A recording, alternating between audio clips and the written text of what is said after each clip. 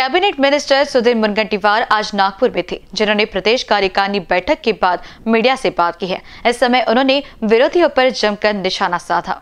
सुधीर मुनगंटीवार ने कहा है कि विधानसभा में सदस्यों के सवाल उपस्थित करने के बाद सरकार ने केंद्र सरकार के मंत्रियों से बात की, जिसके बाद केंद्र सरकार ने इथेनॉल से प्रतिबंध हटा दी है, जिस वजह से अब गन्ना किसानों का और शक्कर निर्माता कंपनियों का फ़ायदा होगा। वहीं महाविकास आघाड़ी सरकार पर निशाना साधते हुए कहा कि महाविकास आघाड़ी के लोग सिर्फ़ बात करते हैं।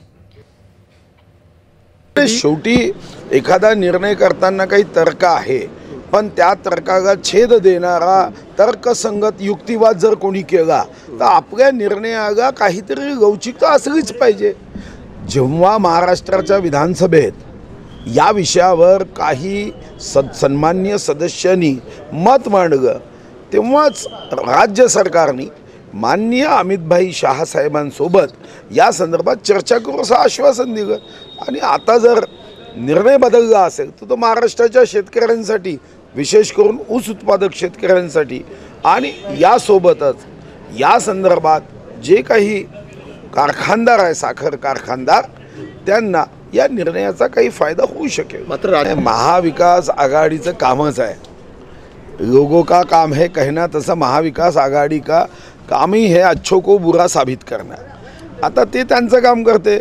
जनता त्यांना निवडणुकीमध्ये झटका देईल. ज्यांनी चोवीस ऑक्टोंबर दोन हजार एकोणीसला जनादेशाचा अवमान केला ज्यांनी मतदारांचा अपमान केला ज्यांनी निवडून भारतीय जनता पार्टीसोबत आले आणि महाराष्ट्राशी ज्यांनी गद्दारी केली त्यांना दोन हजार चोवीसची निवडणूक आहे ना. जनता व्याजासकट परतफेड करणार आहे. मला वाटतं की मा मुंबईमध्ये सर्व समाजाचे लोक एकत्र असतात.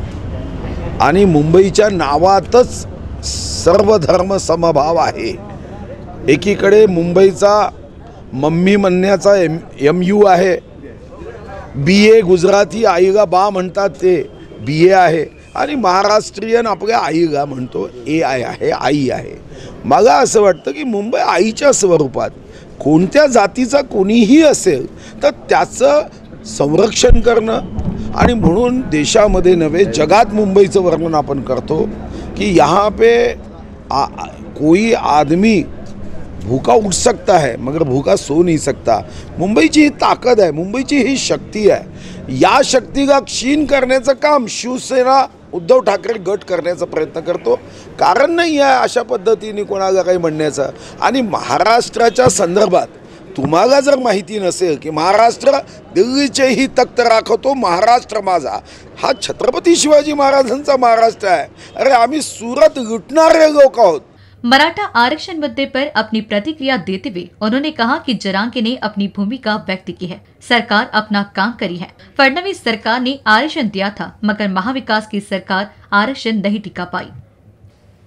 करताय आंदोलनं करतायत तर त्यांच्या भूमिका त्यांनी मांडणं याच्यात काय? मला काही गैर वाटत नाही कारण त्यांच्या भूमिका त्यांना मांडाव्या लागतील.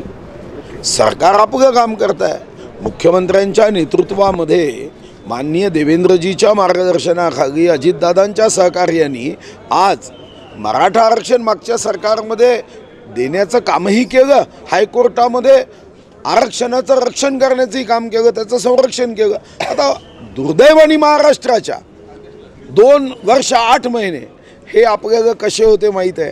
कासवानी सुद्धा आत्महत्या करावी की रिश्ते बे हे सरकार हमारी बाप लगती है. एवढं स्लो हो. फक्त एकच डायलॉग तुम्ही दोन वर्ष आठ महिने पाहिला. केंद्र सरकार केंद्र सरकार. सुप्रीम कोर्टात केस शेवटी आम्ही हरली. आता माननीय एकनाथ शिंदेजी या दृष्टीने देवेंद्रजी आणि अजितदादा यांच्यासोबत बसून आपल्याला कायद्याच्या चौकटीत आणि टिकणारं आरक्षण कसं देत आहे अन्यथा पुन्हा हाच आरोप होईल की पहा सरकारने निवडणुका लक्षात घेऊन आरक्षण दिलं आणि नंतर ते टिकलं नाही. मला वाटतं की या महायुती सरकारने जनतेला देताना कधीही मताचा नव्हे तर मनाचा विचार केला पाहिजे की मजबूत आरक्षण देण्याचं काम केलं इथेनॉल से केंद्र सरकार ने प्रतिबंध हटाने के बाद गन्ना किसानों को इसका निश्चित ही फायदा होगा। कैमरा पर्सन राजकुमार मोहर के साथ प्रकाश शुंकलवार की रिपोर्ट।